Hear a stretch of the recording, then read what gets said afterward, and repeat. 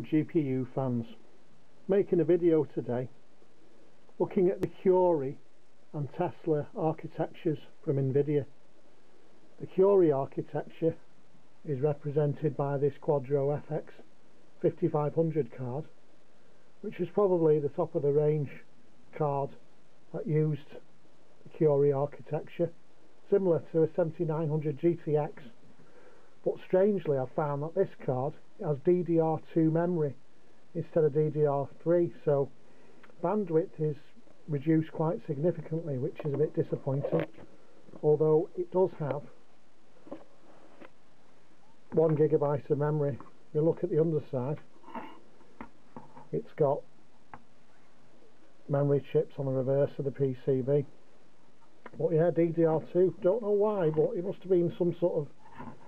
limitation with the card but I've found that some versions of the cards do have DDR3 so not sure why that why that decision was made. To represent the Tesla ar architecture we've got the Quadro FX 5600 and that is very similar to the 8800 GTX and that the only difference is it does have DDR3 but again it's got memory on the reverse of the board and we've got one and a half gigabytes of memory which is nice. Same cooler as the 8800 GTX but the printed circuit board it's extended slightly towards the rear of the card so a slight difference in the uh, in the PCB the reason I'm wanting to do this video is that the Curie architecture was the last architecture Nvidia made with the old style vertex and pixel shaders. So it had 24 pixel shaders 8 vertex shaders and up to the Tesla architecture that was the way cards had been for a, a number of years. And then switching to Tesla we had the unified shader architecture which had 128 shaders that could be used for either pixel or vertex shading. And this gives a massive advantage in some games especially games that are vertex that, that are heavy in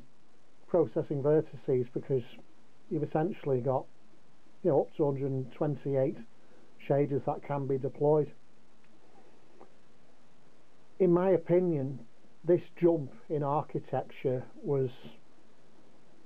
and tell me in the comments if I'm wrong it was the most significant upgrade that Nvidia has done um, possibly more so than going from TNT2 to the first GeForce card I would say in regards to performance absolutely massive um, massive massive upgrade. And although these cards are readily available if you're a collector of GPUs I suggest getting an 8800 GTX or maybe one of these Quadros and put it in your collection because it really is in my opinion it's it's one of the most significant graphics cards of, of all time Le leading us to where we are now really um, with GPUs today. So basically I'm just going to have a look at the performance between the two and I've chosen the call of um, Pripyat benchmark running in DirectX 9 same um, same shader path uh, for both cards. Medium settings um, just trying to think of the what resolution I'm going to be running. Um, 1280 by 1028 res resolution. And um, I just want to show the difference in performance. It may be a bit unfair running this game on the the um, the Curie card because I'm using a slight I'm using the latest drivers for both cards so latest Quadro drivers for both cards so maybe the driver wasn't as advanced at, at, at the, I mean I think it's round about the 309 driver I can't remember the, the exact number around round about 309 for the Quadro driver of the 7900 don't know how that fits in with the release of the uh, that of that Stalker game but the um, performance difference is pretty significant so just wanted um, you to see that and um, I think I'll have to look at this look at these cards again and maybe think if there's um, maybe more a more suitable game that I can use to benchmark. But the Call of Pripyat benchmark is pretty useful because you've got DirectX 9, 10 and 11 um, paths, render paths which is really useful for